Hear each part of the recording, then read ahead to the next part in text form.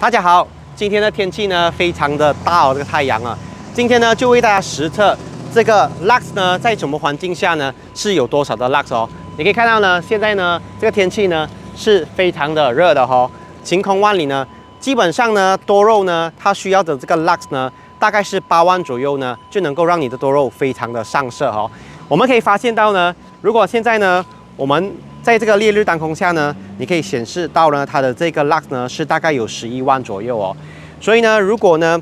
你的这个多肉呢处在大概有十一万 lux 左右的地方呢，你的多肉呢是非常容易晒伤的。所以呢，尽可能呢给你的多肉呢做一个适当的遮阴哈。OK，然后呢，现在呢我们为你们去实测，如果是在一个有遮阴的地方呢，它的 lux 呢是大概多少哦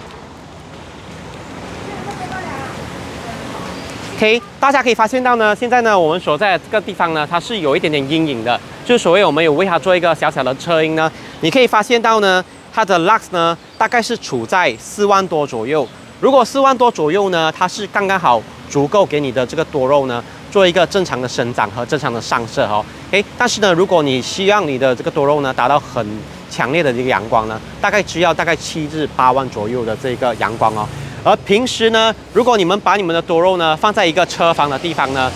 它的 lux 呢到底有多少呢？现在呢就为大家去验证一下。OK，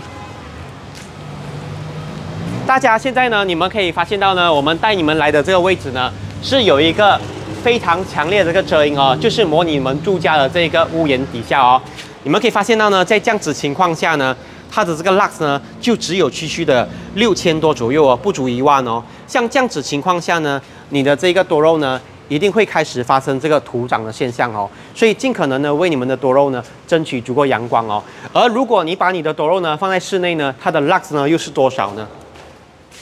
可以你可以发现到呢，现在我们已经呃来到一个室内的地方啊，它的这个 lux 呢才区区的两千左右哦。如果是在这样子低的这个 lux 呢？基本上你的多肉呢是没有办法正常生长的，它会很容易黑腐化水哈。所以呢，总的来说呢，基本上呢，尽可能的话呢，让你们的多肉呢放置在一个阳光充足但是有遮阴的地方呢，尽量让你们的这个多肉的 lux 呢维持在五万到八万之间呢，这样子的话，你的多肉呢才能够正常的生长哦。今天分享就到这里了。如果我们的帮助呃，我视频对你有帮助的话，你的分享和点赞是我们就要做的。我们下期视频再见，大家拜拜。